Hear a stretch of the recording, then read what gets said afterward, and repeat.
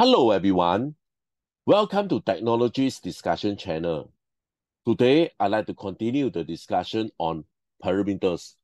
Under this parameter discussion, I have discussed what is Z or impedance parameters.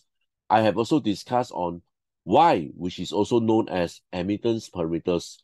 Further on this, I also have done a discussion on S parameters, part 1 and part 2 series. This video, I'm going to discuss on an example how can we actually extract up or obtain the S parameters, for example, from a 3dB attenuator. This will be the part 3 series discussion on S parameters. If you're keen to know more about parameters, I have put the playlist under the description. So please take a look on those videos in order to fully understand on the parameters such as Z, Y, and also S parameters currently. This is my email. If you have any question regards on today's discussion, please drop me an email. Before I continue, I'd like to urge you guys to support this channel by pressing the like and also the subscribe button. Please also turn on your notification bell in order to receive more information from this channel. Guys, sincere thanks for your strong support. This is what we have discussed on part 1 and part 2 series discussion on S parameters. Earlier on on this part 2 series, I have introduced A1, B2, B1, and A2. In short, A1 basically are all the incident wave, and B1 and also B2 are all the reflected wave. Basically, this one is to indicate that port number one, which is at the input, and for this case here, this will be port number two, which is denoted as output. Why I want to do a revisit on this is because technically this A1, B1, B2, A2, they don't make any sense. So therefore, in order to make this notation meaningful, we are going to replace them. For example, A1, I'm going to replace them with V1 plus. As for A2, I'm going to replace them as V2 plus. Same as B1, I'm going to replace them as V1 minus, and B2, I'm going to replace them as V2 minus. Why we need to do this? So in if instead of defining the voltage wave direction, for example, A1, A2, B1, and B2, relative to each port, they are defined by their absolute direction as forward. Okay, when we the wave is actually forward, we want to define as V plus. And when the wave is actually refracted, we want to denote them as V minus wave. Then these S parameters will take on a more intuitive meaning. Okay, so which means that over here, once glance, I know that if this is a plus, I am going to know that this will be an incident wave. And this actually occur at port number one. Same over here, if I saw a plus, I know that this will be an incident wave at port number two. Over here, I saw is a minus, so therefore I know that this will be a reflected wave at port number one. Same over here, I saw a minus, I know that this will be a reflected wave at port number two. So which means that instead of A, B, I actually use this kind of notation, okay, which means that it's much more clear as what I mentioned earlier on, A1 probably does not make any sense to me but if I know that this plus means it's an incident wave, then this will be a meaningful. So this is the earlier on on part two series discussion on the S parameters. Again, from here, I actually replace them. So this B1 is actually V1 minus, which is shown here. B2, which is V2 minus, which is shown over here. And same for A1 and A2. A1 will be V1 plus, which is shown here. And A2 will be V2 plus again, which is shown over here. Next. Okay, so this will be the equation. If I open up the matrix over here, okay, so this will be the equation. And again, I can replace all the B term and all the A term over here. Okay, so basically I put it over here, but in the interest of time, I can't really go through them one by one, but I guess you understand what I want to imply. Same as for all this also, for example, early on on part two series discussion, I have discussed what is S11, okay, which is B1 over A1. As I told you, B1 probably don't make any sense. So therefore, under this B1, I know that it will be replaced by V1 minus, which is indicate here. Same for A1, which is going to represent by V1 plus, which is shown over here. This A2, okay, basically A2 is V2 plus, which is indicate here, which is equals to zero. And that's how I obtain my S11. Same for S12, S21, and S22. But again, in the interest of time, I will skip this part. But I guess more or less you are able to understand what I want to mention over here. Okay, let's start by doing an example. Okay, this task here basically tell us to find the scattering parameters or S metric or S parameters of a 3 dB attenuator circuit shown below. Okay, over here, this will be denoted as port number one. This will be denoted as port number two. Firstly, let's start by finding what is S11. Okay, so S11 can be found as a reflection coefficient seen at port 1 when port 2 is terminated in a match load. Okay, so if you still remember under this S11 here, basically you can see that in order to ensure that A2 or V2 plus, okay, basically the incident wave at port number 2 okay, equals to 0, I need to put a match load. So when I actually put a match load, this will be equals to 0. So this is what it mean over here. So therefore, I need to put a match load at port number 2, which is shown over this diagram here. So this is the question. You can see that early on part, port 2 is actually just an open circuit. But when we actually want to obtain S11, I need to terminate port 2 with a match load, which is 50 ohm for this case here. So after we done this, we are ready to calculate S11. Okay, so this is the equation as I shared with you earlier on how to obtain this S11. Okay, so S11 is also known as the reflection coefficient and a lot of books you can actually obtain this equation here. Okay, but key thing I want to emphasize, okay, uh, we need to put a match load on port 2, which is I have shown it to you earlier on. So basically, this is how we can actually obtain S11. If we are able to know my Z in, okay, Z not, I already know, which is 50 ohm. So basically, Z in is basically the input impedance when I actually look into this direction. So how can I actually calculate my Z in over here? Over here, you can see that these two resistors, they are actually in series. So I, can actually add them up into 58.56, which is indicate here. And after I adding up these two resistors, these two resistors, again, you can see that they are actually parallel with 141.8. Okay, which means that these two resistors now Okay, this is the combination of this resistor and this resistor. Since they are in series, I can add them together. And these two resistors now, they are actually connected in parallel. So if I want to get my Z in, okay, what happened is basically after that, I can see that this 856 is in series of the resulting resistance. And hence, basically from here, I will be able to calculate the impedance of the input characteristics so this is the equation when we actually get in parallel. So over here, okay, I just want to quickly open up the bracket on over here. So this will be intact, will be still 8.56. This is when the two resistors are in parallel. The equation is mentioned here.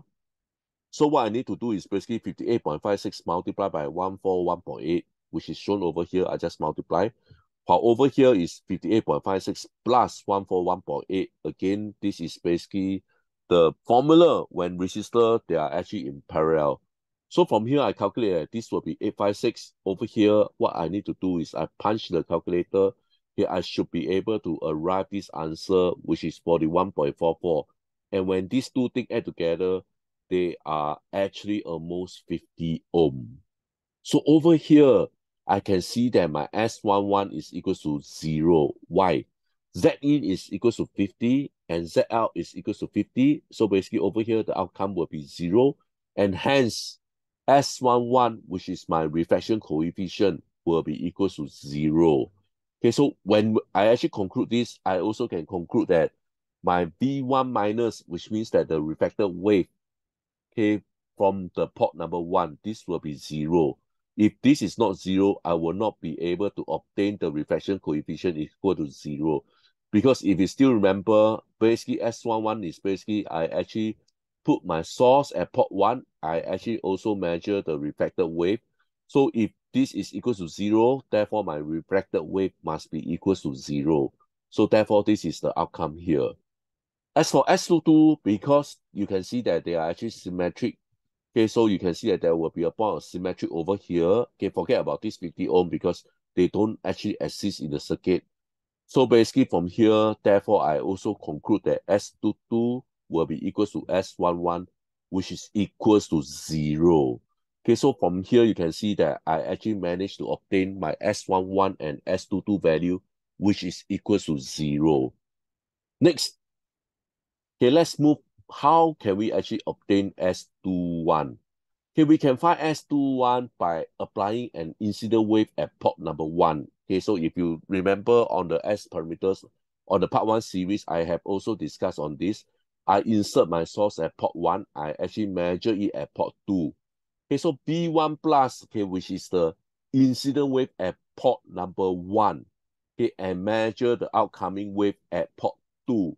Okay, which is V2 minus here. Okay, this is equivalent to the transmission coefficient from port 1 to port 2. Okay, so this equation, okay, which is not new, I have actually introduced in part 2 series discussion on the S parameters. And earlier on, I have also discussed about this equation that is simply just represent. Okay, so basically I obtain this. As for this case here, again, I need to put my match load at port 2. Basically, this is what it means over here. I need to put my match load at port 2 Earlier on, I have also obtained that this S11 and S22 is equal to 0, and therefore this V1 minus is equal to 0, okay, which is here. Okay, so with this, okay, because S22 is also equal to 0, can you still remember? And hence from here, okay, I know that this V2 plus must be also equal to 0. So basically what left, which is unknown, okay, basically will be V1 plus and V2 minus. Basically, this will be unknown, which actually will be used to calculate my S21. So if you see here, this is V2 minus, and this is V1 plus here. So therefore, okay, in order not to confuse, okay, let's quickly re represent this.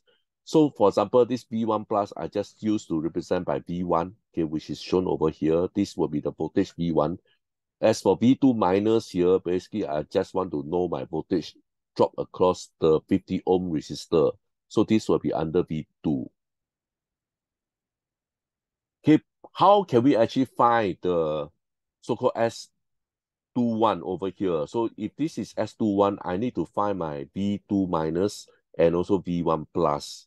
Okay, so we are ready to find this here. Again, if you want to find all this here, okay, I actually need to do this equation, which is V2, okay, which is over V1. Okay, then I will be able to find my S21 how can I actually find my voltage V2 here? Okay, so from here you can see that firstly, how I'm going to do is basically, I'm going to combine these three resistor into one resistor. As you can see from here, I combine these three resistor into one over here. Okay, so earlier on, I mentioned that these two resistors, they are connected in series. After that, they are in parallel with this 141.8. Okay, so over here, you can see that when they are actually series, I actually can add them up which is 58.56. Okay, so over here, they are actually parallel with another resistor, which is 141.8. So earlier on, I have already discussed how can we actually calculate the overall resistor when they are actually connected in parallel. So what over here, I just punched my calculator. I should be able to arrive this 41.44 ohm. So this will be the outcome of a resistor value over here. Okay, again, here I need to find what will be my voltage over here. So my voltage over here, basically I can use my voltage divider rule if you still remember. So V1 multiplied by the resistor value over here, okay, which is another resistor here plus this 41.44, which is indicate over here. Okay, so basically this is just a voltage divider rule. Okay, so which I believe you guys already know what's this. So from here, I can compute that this V3 is equals to 0 0.8288 V1. Okay, so basically this is the voltage at over here, okay, outcome here. and basically with respect to V1 will be 0.8288 V1. Okay, again, okay, let me rewrite this whole diagram over here. And I have calculated what will be my V3 value. Okay, V3 will be the voltage drop over here. And the key thing is basically I need to find what is my V2 with and also V1. Okay, so once I obtain my V3 over here, okay, the voltage, this resistor I can totally ignore because I already have my voltage value, which is 0.8288 V1. So I need to find what will be my voltage at V2.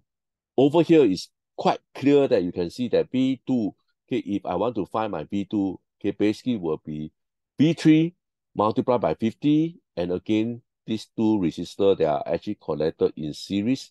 I need to add them out. Basically, this again will be the voltage divider rule. Okay, so over here, this V3, okay, which is 0 0.8228 V1 here. So I replace this V3 by this number here. Okay, I punch my calculator, I should be able to arrive at this equation. And for S21, if you still remember, will be simply this V2 over V1. Okay, if you cannot remember, let's quickly revisit here. Okay, remember I let this V2 minus equals to V2. And this V1 plus is equals to V1. So in order to get my S21, okay, it will be like V2 over V1, okay, which is illustrated here, V2 over V1. And from here, I calculate that it will be 0 0.7077. And from here, I conclude that S21 will be equal to 0 0.7077. Same for S12, which I'm not going to show it to you over here, but I guess now you should know that S12 is actually equals to S21 will be equal to 0 0.7077. So from this example here, you can see that how I actually obtain S11 and also S22 because of symmetric, they are exactly the same. As for this page here, I have illustrate how can I actually obtain the S21. Again, they are all symmetric, so therefore S21 is equal to S12. So from here, I successfully extract up all the S parameters from the example which is illustrated here. Okay, so basically this is an example which is going to illustrate here. Okay, so I have shown how can we actually extract up all the S parameters or S metric. Here with this, I'd like to end my discussion. Please help to like and subscribe. Once again, sincere thanks for your strong support. Hope to see you guys soon. Bye for now.